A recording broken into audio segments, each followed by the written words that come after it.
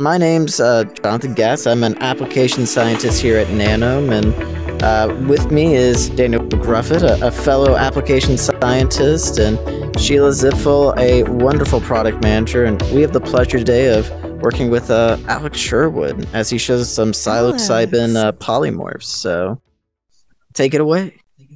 Yeah, sure. Uh, yeah, so I, am Alex Sherwood. I'm a medicinal chemist at the Usona Institute. I've I've worked with Usona for about four years now, and I have uh, contributed to the some of the process development work that we've done to produce uh, GMP psilocybin that is actually being used in uh, several of the clinical trials that are that are being run right now with with psilocybin. So what we're looking at here in uh, these three images are they're all psilocybin. So so each of these images contains a picture of of pure synthetic psilocybin. But what's different in these three images, which is not actually readily apparent, is that they are comprised of three different crystal forms. Uh, mm. And so on the left here, this is a what's called the hydrate of psilocybin, hydrate A. And then we've got two anhydrous polymorphs, polymorph A and, and polymorph B. And so we are talking about uh, a recent manuscript that uh, that we just published that actually went into detail and and looked at the the crystal structure solutions specifically for polymorph A and polymorph B.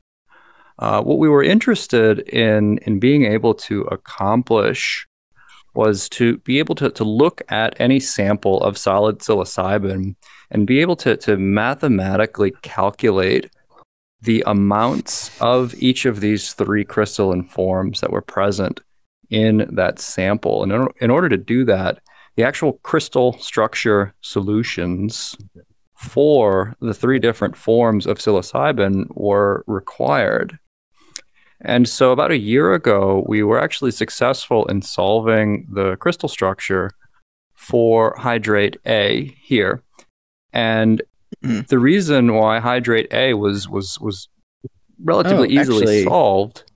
Alex, uh, could we take a look at that structure, maybe? Uh, think you have one of those uh, loaded in. Yeah, and, sure, uh, sure. Just looking here, it looks like they're all crystalline.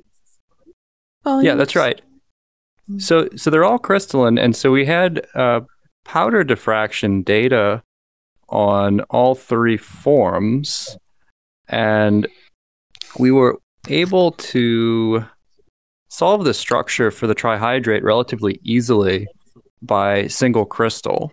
Uh, and as you can see, looking at the crystals here, the, the trihydrate forms these beautiful long needle crystals, which makes them readily amenable to solving by single crystal X-ray diffraction. So in order to, to mm. do a single crystal structure solution, you need to be able to actually isolate a single crystal and mount it onto the diffractometer. And so mm. uh, our group was was able to do that relatively easily for the trihydrated form. Cool. So when you're manufacturing psilocybin, the, the last step of the synthesis is typically a recrystallization from water, so an aqueous crystallization, which forms this hydrate A. However, it's it's standard practice when you do a recrystallization is to take your wet cake, so your your wet crystals, and dry them in a vacuum oven. And so what we found with drying the the hydrate A, so at you know 30 to 50 degrees on, in vacuum for about a day, uh, that we'd get a new powder pattern, uh, and we called this polymorph A. And so polymorph A is the the crystal that results from the the collapse of the trihydrated form and so here is the crystal structure that arises from the drying of the trihydrated form. So in the trihydrated form, for every one molecule of psilocybin. Let's see. There are three You could- coordinating water molecules here. And so in that drying process, those relatively volatile water molecules leave, and this crystal structure collapses.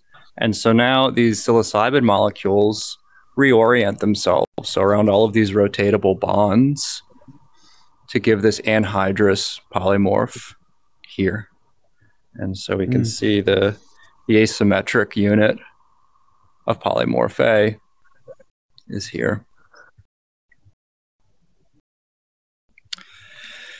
You know, and so what was really, I think, enlightening for me jumping into Nanome for the first time this morning and and looking at these crystal structures in VR for the first time was really recalling, you know, being in physical chemistry classes a decade ago and recalling, you know, all of those those symmetry operations and point groups and Mhm. actually being able to to see that for the first time. It was always this abstract concept of, you know, well, what what is a crystal, right? So it's this repeating arrangement of of molecules. So you get this long range order by the same thing repeating.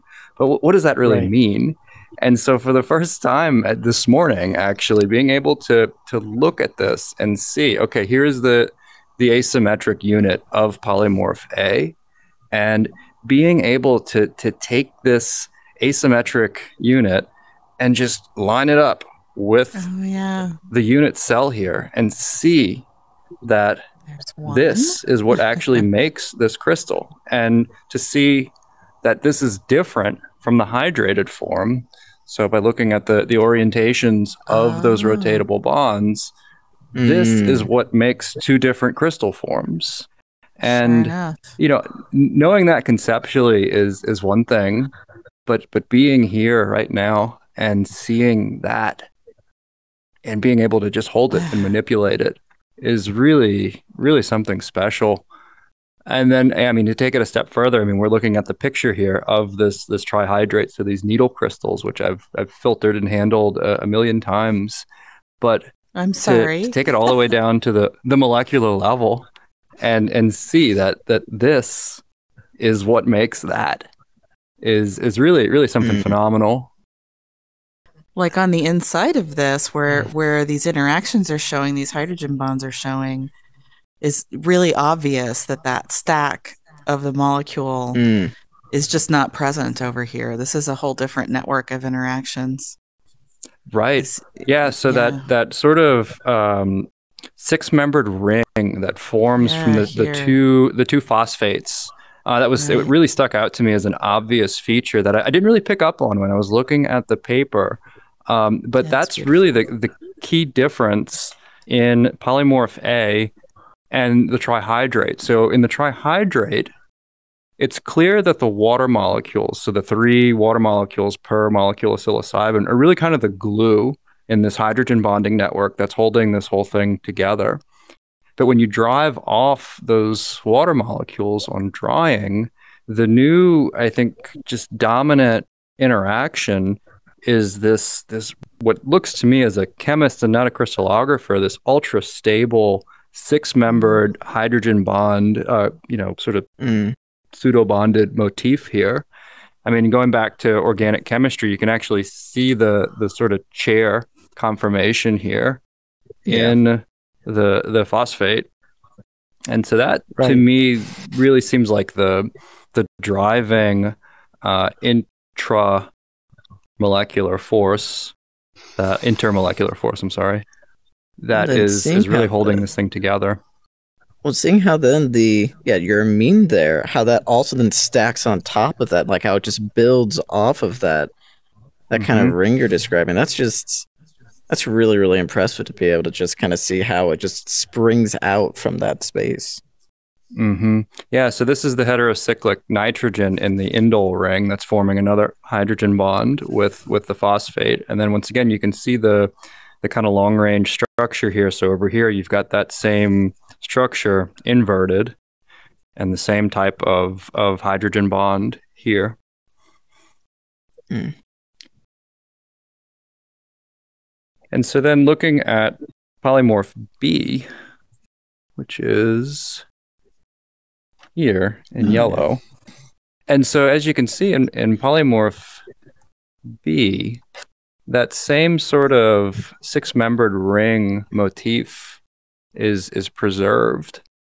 Mm. Mm. But there's there's one more unique feature in polymorph B that's not seen in polymorph A, and that is in the asymmetric unit here.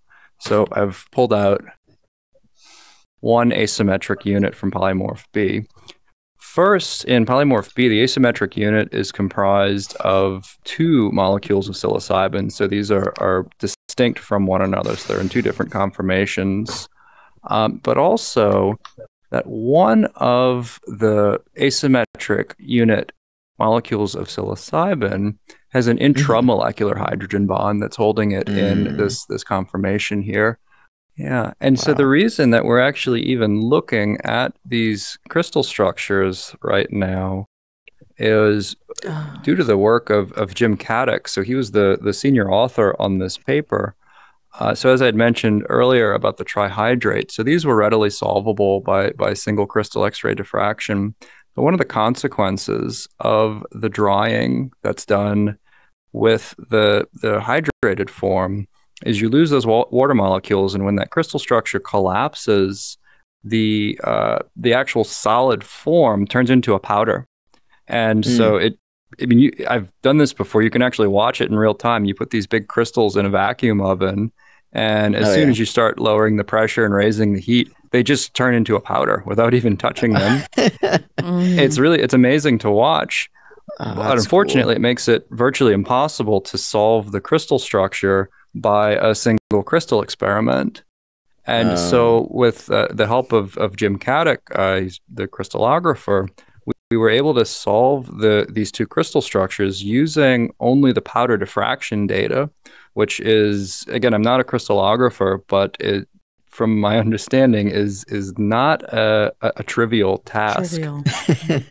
and I'm uh, and so Jim was able to solve not one but two crystal structures, the two that we were particularly interested in, the polymorph A and polymorph B here, uh, Mhm. and then actually confirmed the results using uh, dens- density functional theory calculations to essentially check the structures to determine if they were correct or not. And so we, we have very very high confidence in the um, the fit of these two crystal structures. But ultimately, what that allowed us to do in the the manuscript, once we had the the solved crystal structures in hand for the hydrate, polymorph A, and polymorph B, was to use a technique called Rietveld analysis. So once you have a crystal structure, you can calculate that powder pattern backwards. So you can essentially predict what the Mhm. powder pattern would look like for Mhm. any one of Huh. these these crystal forms. What that allows you to do then is if you have any powder pattern that was a say a mixture of hydrate A, Mm. polymorph B, and polymorph A, with those calculated patterns, you can fit them to the mixtures and then determine exactly how much of hydrate A, polymorph A, and polymorph B are in those powder patterns. Mhm. And that was really the the driving force was you know, we went back and looked at some 23 different samples of psilocybin and it allowed us to Mm. say with with mathematical precision that Yeah. hydrate A, polymorph A, and polymorph B occurred again and again and again throughout all of, of Yeah. psilocybin synthesis history. Well, Is real that fast, something Alex. you can then? Oh, sorry. Is that something you can st- then like track and p- put through another process of drying and Mm. see if you if you can converge on a single polymorph in your sample? Yeah, absolutely. So in the pharmaceutical development of psilocybin, uh, polymorph A is the preferred form. And so by Mm. being able to look at how much polymorph B do we have, how much polymorph A, we could design that crystallization and drying process such that it only Mm. targets polymorph A. Mm. Uh, that's sort of the, the tricky piece with using X-ray powder diffraction is when you have a powder pattern, sure it's it's a fingerprint, but it doesn't necessarily tell you whether or not you have a, a single crystalline form there. And and so that was really where the the solved crystal structures came in and, and allowed us to really determine whether or not a powder pattern was a single polymorph or consisted of, of multiple crystal forms present. I guess it would also be some sort of indication if you if you did come across a new polymorph you hadn't seen, if the math couldn't fit the the diffraction oh, yeah. pattern in, into yeah. Absolutely. So there are probably about a dozen known polymorphs for psilocybin. Most of mm. them are actually uh, solvates. So in, in the same way that the hydrated form is, you know, coordinates with uh, water molecules, uh, most of the polymorphs for psilocybin are, are solvates. So we don't really like to consider those for pharmaceutical development. So, for example, the, the monomethanol solvate of psilocybin is, is a known crystal form. But if you're using this in a pharmaceutical application, well, we don't really want you know one mole of methanol for every every mole of, of psilocybin that, that's in the drug and so that's why i mentioned earlier that these are the three most pharmaceutically relevant uh, forms of psilocybin because they represent oh, right. either hydrated or anhydrous forms. So we're not really worried about uh, other solvent molecules there. But in terms of, of anhydrous forms, there's not much evidence to suggest that there's anything other than, than A and B.